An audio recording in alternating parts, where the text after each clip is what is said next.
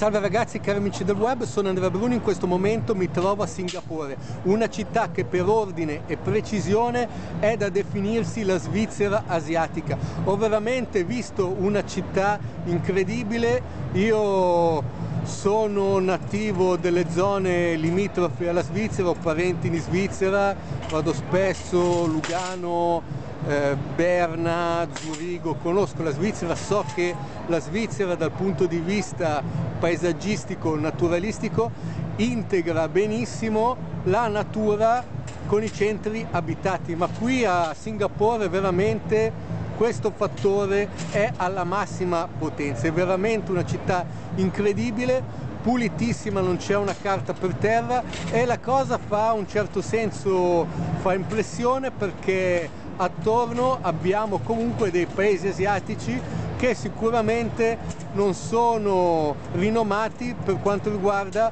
ordine e pulizia. Tuttavia qui l'etnia è la stessa, ma cos'è che ha dato questo input a tenere una città così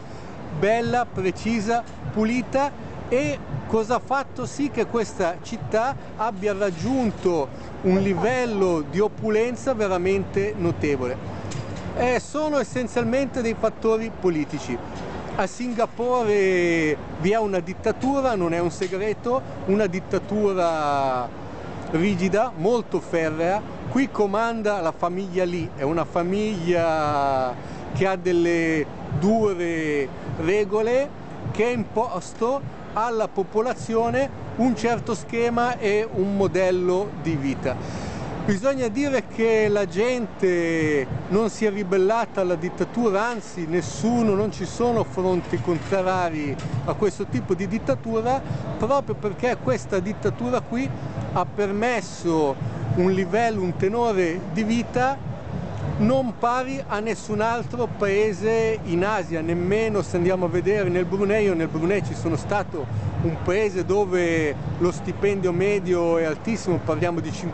dollari, di 50.000 dollari all'anno di stipendio, più di 5.000 dollari al mese di stipendio medio, eppure qui a Singapore è tangibile un tenore di vita ancora superiore. Questo perché? Perché qui non si scherza, se qualcuno sgarra, soprattutto la classe politica, finisce subito in gattabuia. Qui vige la legge che se qualcuno della famiglia che comanda, la famiglia lì, abbia anche solo il minimo sospetto che qualche ministro non faccia gli interessi della collettività o quindi del paese, lo prendono e lo fanno rinchiudere in gattabuia una gattabuia che è veramente buia perché lo infilano giù in un tombino e lo tengono lì dentro fino a che eh, avrà espiato la sua pena. Il periodo di espiazione della pena lo stabiliscono la famiglia lì, chi comanda, e se qualcuno dovesse, chiaramente la famiglia lì, quando mette qualcheduno in prigione che lo mettono nel tombino, poi si dimenticano di questo qua. E se qualcuno dovesse cercare di ricordare alla famiglia che comanda di questo condannato che è finito nel tombino, questo prenderà delle frustate anche solo perché è andato a ricordare che c'era il condannato che sta espiando la pena nel tombino e probabilmente ci morirà in quel tombino. È una città con delle regole molto ferre, precisissima, di una pulizia impressionante. Tempo fa dei turisti americani avevano imbrattato una parete, li hanno beccati e chiaramente l'ambasciata americana ha interceduto per evitare l'arresto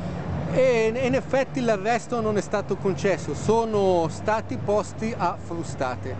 Quando i condannati hanno capito che la loro pena era semplicemente essere sottoposti a frustate, per l'esattezza quattro frustate, hanno esultato. Hanno esultato fino al momento in cui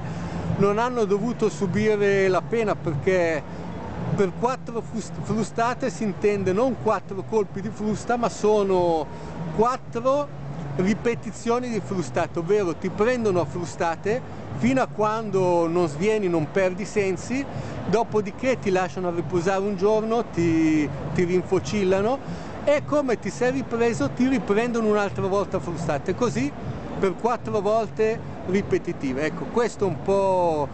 come funziona il sistema legislativo e giudiziario qui nel paese, un sistema in cui questi poteri sono in mano essenzialmente una famiglia, la famiglia che comanda e eh, la dittatura in questo luogo ha dimostrato di riuscire a portare un benessere che non ha pari, io non ho dubbi di essere smentito, di non poter essere smentito perché di paesi ne ho visti tanti, ne ho girati, questo paese qui non ha pari per quanto riguarda ordine, pulizia, precisione,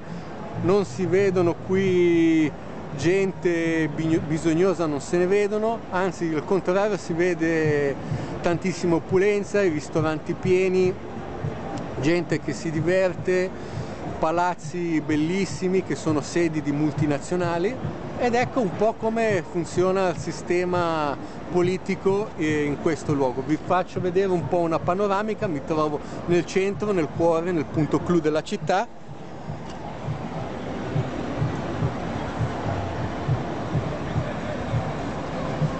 Ecco, come potete vedere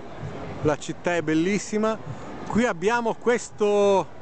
questa serie sono tre edifici, adesso al buio senza lo zoom si vede poco, che hanno una riproduzione di una imbarcazione sulla sommità. Ecco, qui verrebbe da chiedersi se ci fosse anche qui Capitan Schettino cosa succederebbe. Sarebbero altre frustate che volano. Ecco qua, qui abbiamo, mi trovo in mezzo allo skyline, la città ha molto verde, una cosa che caratterizza questo posto, ha un verde veramente tenuto benissimo con alberi esotici, è eccezionale. Ok ragazzi,